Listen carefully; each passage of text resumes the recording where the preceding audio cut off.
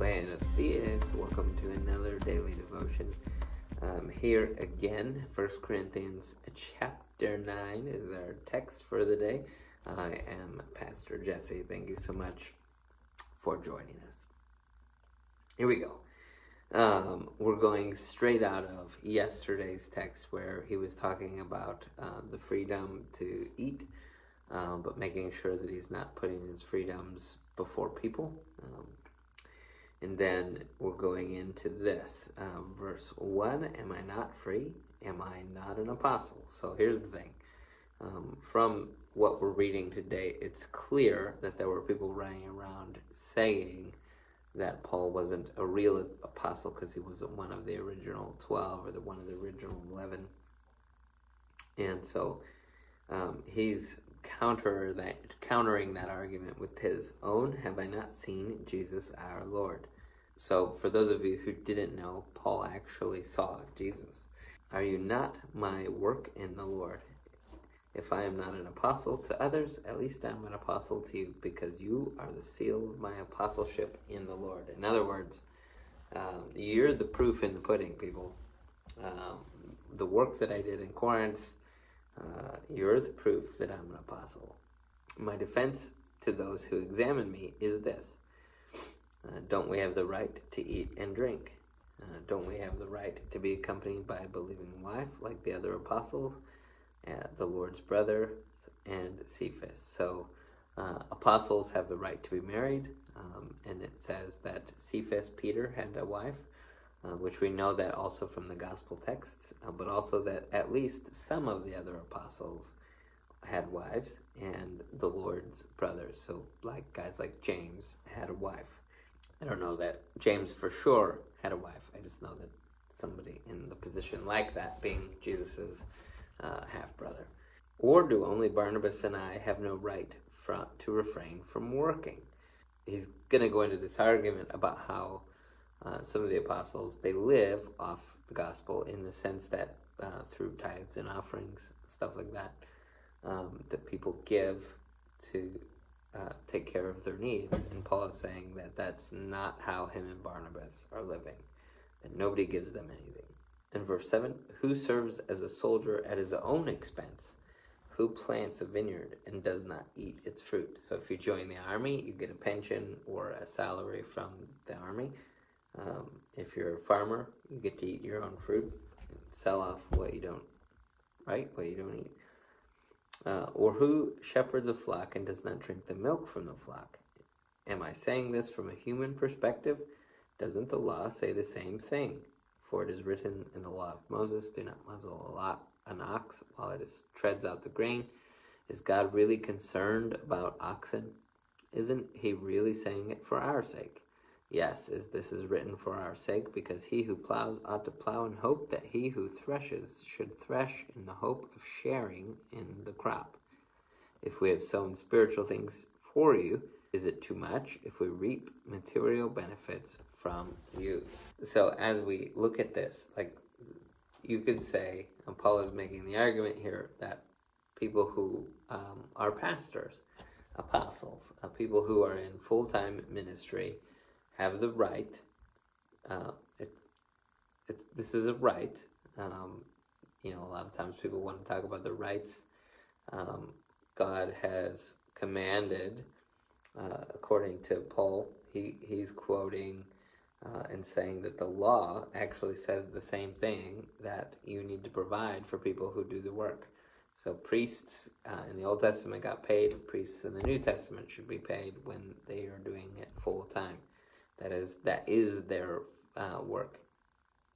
And so, uh, you know, guys like Pastor Dan um, and I, um, we um, both uh, are doing this, this same type of thing um, that the other apostles are doing. We're teaching the Gospels, we're providing um, teaching material, we're doing the daily devo- devotions, um, we're discipling people, we're proclaiming the Gospel, and therefore, according to Paul um, and the law um, of the in the Old Testament, God um, has provided us the right to reap um, a material blessing, in other words, to be paid for our work.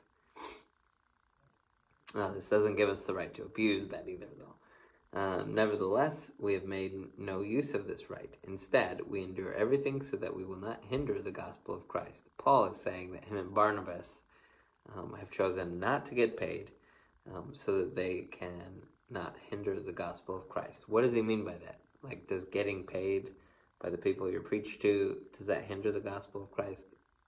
No, what he's saying is that he can get to more people if he doesn't ask for an offering every time.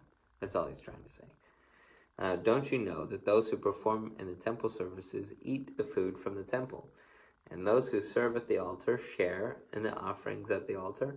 In the same way, the Lord has commanded that those who preach the gospel should earn their living by the gospel. Uh, Dan and I should be able to be paid, um, should should have our living provided for from the preaching of the gospel. Um, for my part, I have used none of these rights, nor have I written that these things that they may be applied in my case, for it would be better for me to die than for anyone to deprive me of my boast. For if I preach the gospel, I have no reason to boast, because I am compelled to preach, and woe to me if I do not preach the gospel. For if I do this willingly, I have a reward, but if unwillingly, I am entrusted with a commission. So Paul here is saying that he gets a reward because he chooses to provide uh, the gospel free of charge.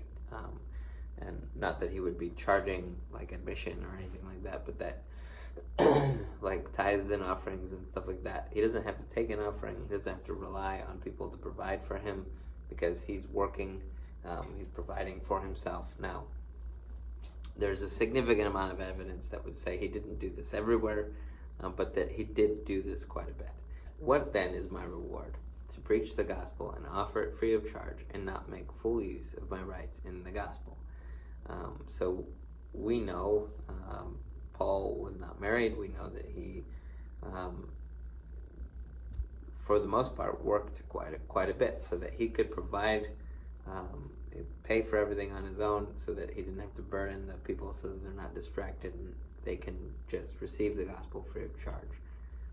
Although I am free from all, and not anyone's slave. I have made myself a slave to everyone in order to win more people. So Paul's mindset, first and foremost, is no matter what I have to do in order to make sure more people get saved, that's what I'm going to do.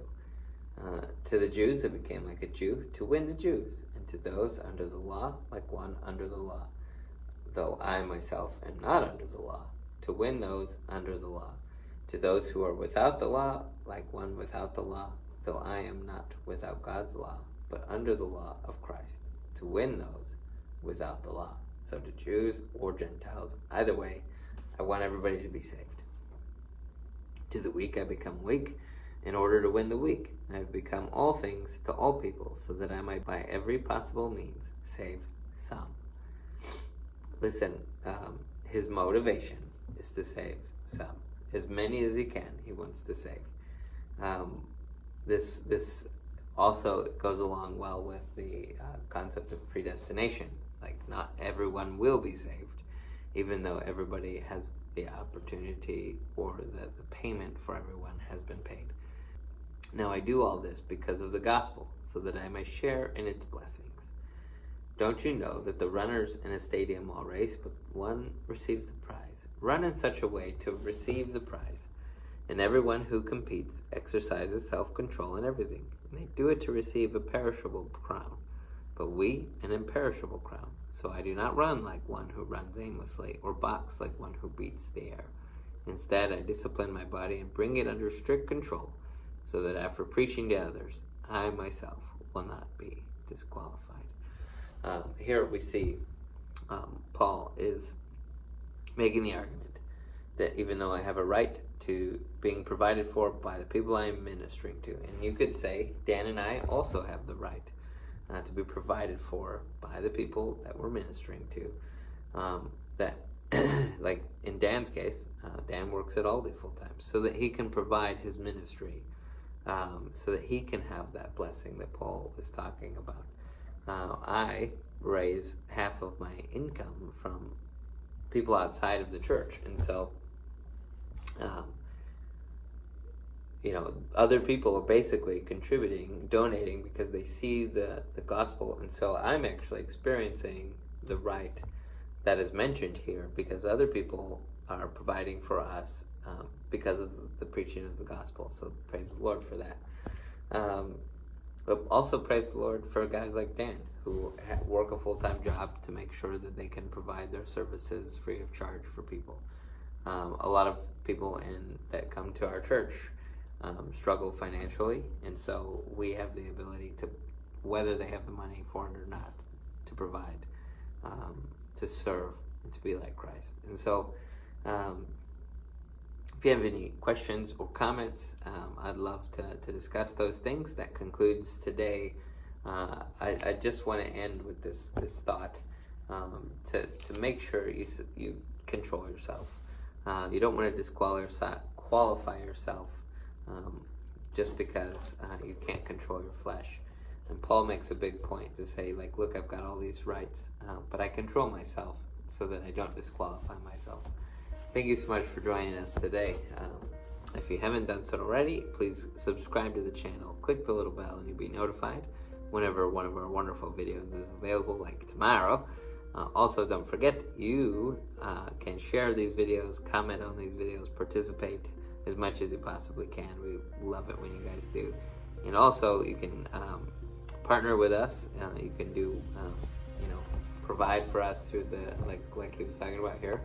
Uh, if you want, you can do that through at making a donation um, through the tax deductible link listed in the description below. Thank you so much for joining us today. Peace out, Girl Scout.